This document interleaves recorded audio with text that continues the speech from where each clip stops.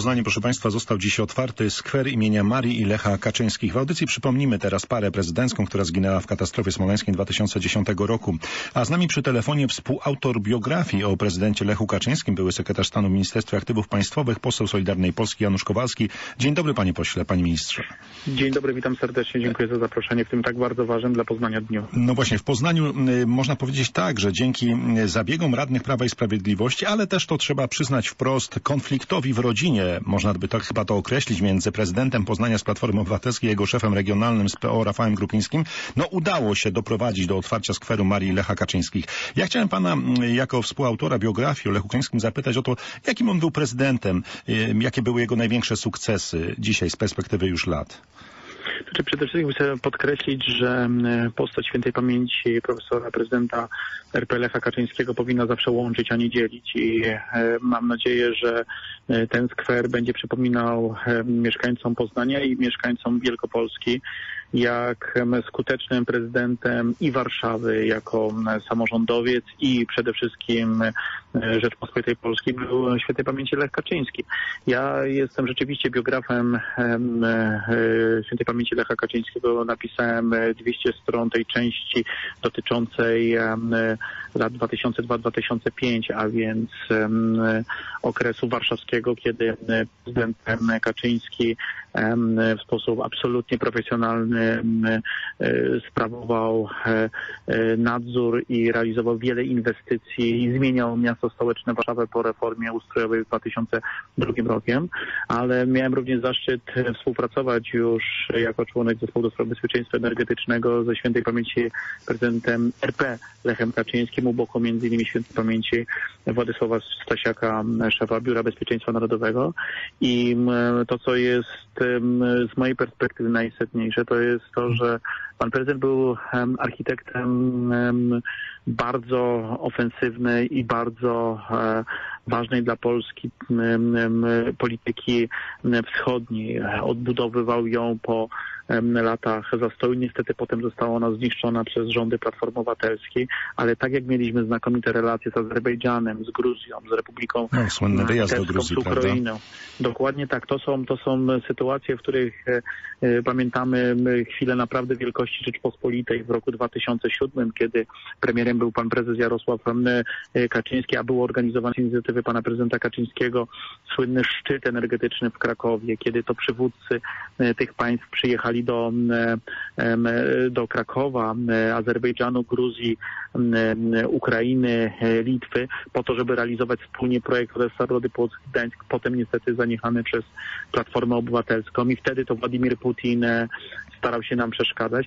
Innymi słowy, prezydent Kaczyński miał wizję. Miał wizję Polski silnej w Europie, miał wizję Polski, um, która jest partnerem dla państw byłego obszaru postsowieckiego. Zdecydowanie sprzeciwiał się Nord Streamowi, budował siłę e, i wspierał budowę siły polskiej armii i podkreślam zawsze, był znakomitym, absolutnie znakomitym samorządowcem. Ja jako wiceprezydent Opola w latach 2014-15 korzystałem z tego doświadczenia pisania mhm. biografii jako samorządowca e, pana prezydenta i e, dokładnie w ten sposób projektowałem swą pracę. Chcę powiedzieć jeszcze jednej rzeczy.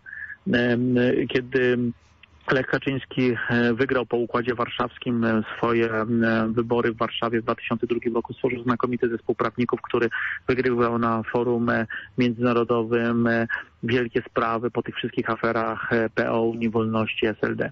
Ja nie ukrywam, że z tego doświadczenia sam skorzystałem w roku 2016, bo dokładnie według tego samego schematu, jak w Warszawie zbudowałem zespół prawników PGNiG, który wygrał 6 miliardów złotych dla Polski, dla PGNiG. Innymi słowy, Lech Kaczyński dla wszystkich samorządowców i Poznania, i Wielkopolski, i w, i w Polsce, również jako były prezes Najwyższej Izby Kontroli, jest absolutnym wzorem e, e, patrioty i naprawdę warto czytać jego biografię. Dziękuję bardzo serdecznie jako biograf świętej pamięci Lecha Kaczyńskiego e, wszystkim inicjatorom e, powstania tego skweru. Niech ten skwer jednoczy i łączy, tak jak to robił zawsze świętej pamięci Lech Kaczyński, a nie na pewno... Chociaż Panie ministrze, muszę, muszę tutaj e, dodać, że byli też tacy radni w czasie tej dyskusji, również z Platformy Obywatelskiej, którzy już przy samym głosowaniu zakładali, że to miejsce nie będzie łączyć, będzie dzielić poznaniaków. Już wtedy to przewidywano i sugerowano, tak jakby zakładał, że tak będzie po prostu, co jest e, dość przerażające. Ale ja chciałem zwrócić jeszcze uwagę na inną kwestię. Otóż e, na ten nieustający hejt z antypolskich mediów, jak Wyborcza, Onet czy TVN24, który, który dotykał Lecha Kaczyńskiego, prezydenta Kaczyńskiego jego rodzinę, no, to było rozkręcane mm, na taką skalę, że no, mogło chyba kruszyć serce nawet męża stanu, czy nie? Czy się mylę? No to jest tak, że rzeczywiście, tak jak niedawno powiedział w słowach otwartych pan prezes Jarosław Kaczyński, że nigdy Donald Tusk nie, nie, nie pogodził się z przegraną w 2005 roku e, w wyborach prezydenckich i rzeczywiście wtedy ten cały wielki hejt, ten cały ta cała sytuacja, w której narodził się przemysł pogardy, no miała po prostu miejsce i ona do dnia dzisiejszego niestety odbija się dużym, dużym e, takim e, znaczeniem po prostu w polskiej debacie publicznej. I trzeba jasno powiedzieć, że w mojej ocenie ocena pana prezydenta Lecha Kaczyńskiego, jego całego dorobku, również jako jednego z liderów opozycji antykomunistycznej, wiceprzewodniczącego NZZ Solidarność, człowieka, który również w polskim prawie pracy oznaczył się ważnymi publikacjami, był znakomitym profesorem na Uniwersytecie Gdańskim, powinno zawsze łączyć. Naprawdę chciałbym, żeby, znaczy ja marzę, żeby mieć chociaż wyrywek e, jeden, dwa lata tak pięknego życia rysu, jakim było całe życie świętej pamięci prezydenta Kaczyńskiego. Tam, tam, tam, tam w zasadzie każdy, każdy okres jego aktywności to była ciężka praca dla Polski i zakończona jakimś sukcesem, jak na przykład budowa całego systemu kontroli państwowej w Polsce, czyli ustawa o Najwyższej Izbie Kontroli. To są rzeczy, które po Lechu Kaczyńskim zawsze zostaną. Ja, panie redaktorze, to samo przeżywałem w 2000 2014 roku, kiedy byłem wiceprezydentem Opola i inicjowałem e, e, dokładnie tę samą e, inicjatywę, czyli skwer Lecha Kaczyńskiego w Opolu, który mhm. przeszedł niestety jednym głosem i te, ten hejt, o którym pan mówi, ta, ta, ta, ta niesprawiedliwość, te niesłuszne argumenty niestety były podnoszone. Dzisiaj się na szczęście o nich już nie pamięta, ale to, że w Warszawie, w mieście stołecznym Warszawa, a właśnie w tej chwili stoję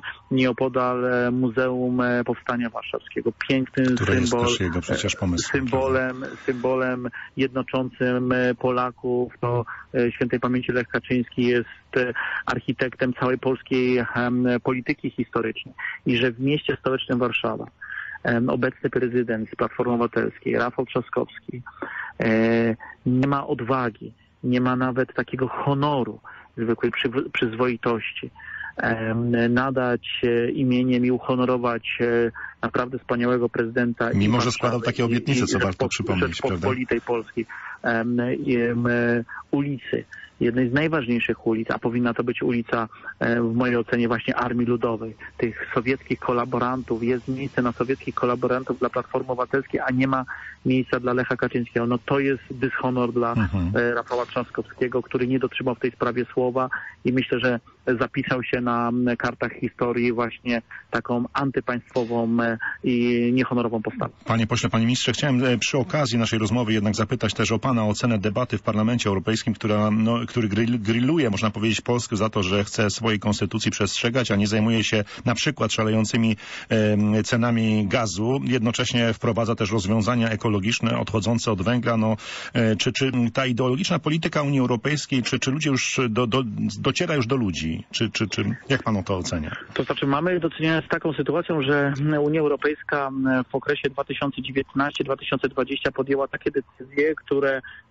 spowodowały, że tak zwany Zielony Ład, który został ten, w tym czasie przyjęty, który został wpisany w ramy budżetowe Unii Europejskiej, zaostrzono w sposób ideologiczny na wniosek Timmermansa e, cele redukcji CO2, właśnie w ciągu po kilkunastu miesiącach w sposób spektakularny zbankrutował.